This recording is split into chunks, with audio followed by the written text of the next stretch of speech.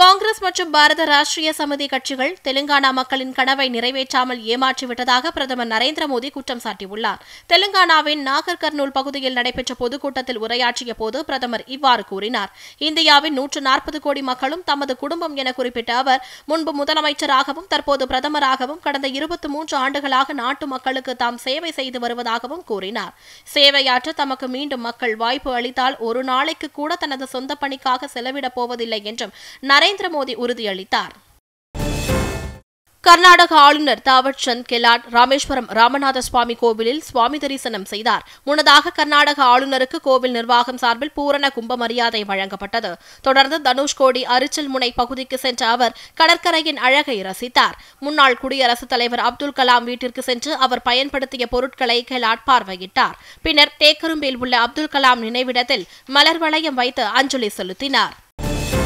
தமிழ்நாடு அரசு போக்குவரத்து கழக பேருந்துகளில் முன்பதிவு செய்யும் காலம் முப்பது நாட்களிலிருந்து அறுபது நாட்களாக அதிகரிக்கப்பட்டுள்ளது. இது தொடர்பாக அரசு விரைவு போக்குவரத்து கழக மேலாண் இயக்குநர் வெளியிட்டுள்ள செய்திக்குறிப்பில் பயணிகளின் வசதிக்காக முன்பதிவு காலம் அதிகரிப்பு நேற்று முதல் நடைமுறைக்கு வந்துள்ளதாக தெரிவிக்கப்பட்டுள்ளது. இந்த வசதியை தொலைதூரம் பயணம் செய்யும் பயணிகள் பயன்படுத்திக் கொள்ள வேண்டும் என்றும் இதற்காக போக்குவரத்து கழக இணையதளம் மற்றும் செயலி மூலம் முன்பதிவு செய்யுமாறும் அதில் கூறப்பட்டுள்ளது.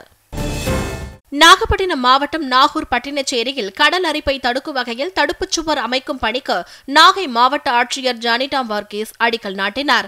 கடுவையாற்றின் முகத்துவாரம் பகுதியில் கடல் அரிப்பு தடுப்புச் சுவர் அமைக்கும் பணிகளை மேற்கொள்வதற்காக நபார்டு வங்கி ஏழு கோடி ரூபாய் வழங்கியுள்ளது. தொடர்ந்து திருமருகல் பனங்குடி ஊராட்சியில் பத்து லட்சம் ரூபாயில் உருவாக்கப்பட்டுள்ள வலைப்பின்னும் கூடத்தையும் மாவட்ட ஆட்சியர் திறந்து வைத்தார். திருப்பத்தூர் மாவட்டம் நாற்றாம்பள்ளி அடுத்த கே. பந்தாரப்பள்ளி கிராமத்தில் அரசு கலை மற்றும் அறிவியல் கல்லூரி கட்டுவதற்காக மாவட்ட ஆட்சியர் தர்பகராஜ் அடிக்கல் நாட்டினார். பதினைந்து கோடியே முப்பது லட்சம் மதிப்பில் கட்டப்பட்டு வரும் இந்த கல்லூரி இரண்டு தளங்களாக அமைக்கப்பட உள்ளது. இதில் முதல்வர் அறை அலுவலகம் ஆய்வகம் ஆகியவை கட்டப்பட உள்ளன. இந்த நிகழ்ச்சியில் ஜோலார்பேட்டை சட்டமன்ற உறுப்பினர் தேவராஜி கலந்து கொண்டார்.